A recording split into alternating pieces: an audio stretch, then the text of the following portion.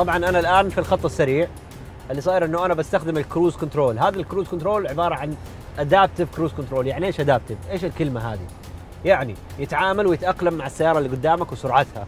إذا أنت ماشي مثلا على 100 ومثبت السرعة على 100 في البرادو واللي قدامك هدى إلى 80 البرادو automatically تنزل سرعتها إلى 80 adaptive cruise control تحميك من أي حادث لا سمح الله. خليني أوريكم. الآن السرعة ثابتة على 100 وأمامي سيارة مهدية سرعتها إلى تقريبا 80 السيارة البرادو قاعدة توقف وتأخذ حذرها من السيارة اللي قدامها. هذا هو ال adaptive cruise control.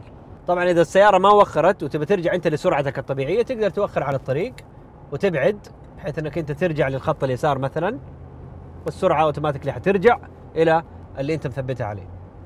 اليوم انت بتستخدم ال pre-collision system لما تستخدم ال cruise control ال adaptive cruise control يعطيك هذه الخاصية. يعني اللي قدامك إذا هدى السرعة وجلس يهدي إلين قرر إنه يوقف وسط الخط السيارة البرادو وأنت على ال cruise control راح توقف معاه automatically إذا أنت بعدت عن الخط اللي هو موجود فيه اللي أمامك راح ترجع السرعة زي ما كانت طبيعية على اللي أنت مثبتها من قبل. والله تصدق الطريق طويل أنا ما أبغى آخذ الطريق هذا فحادور لي على اختصار كذا بالمرة نجرب ال off road في السيارة. أيوه. أيوه هذا هذا مكانه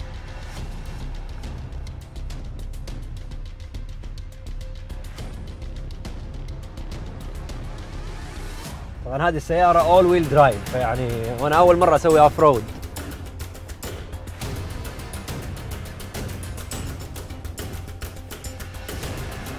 واحد كمان يستغل لما يكون معاه سيارة زي كذا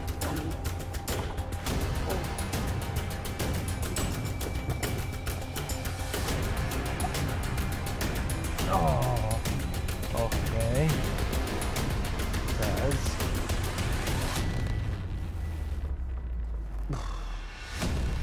شو الكاميرا الأمامية لأنه أنا ماني شايف قدامي صرت مع الطلعة.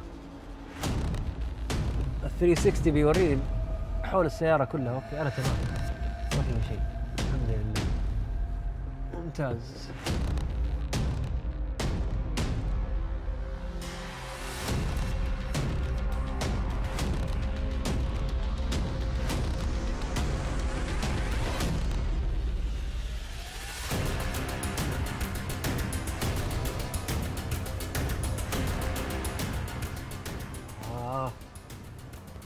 الموقع الخطير ده.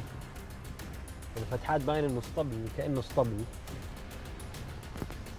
طيب فين ممكن نلاقي العلامة الحمراء؟ جوا أكيد. ها لقيناها يا حبيبي لقيناها.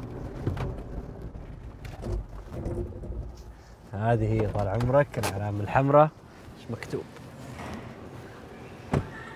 آه إيش المكان الجميل ده؟ وخيول ودنيا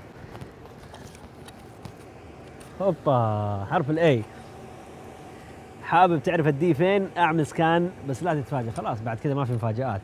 باقي لنا حرفين. تعالوا معي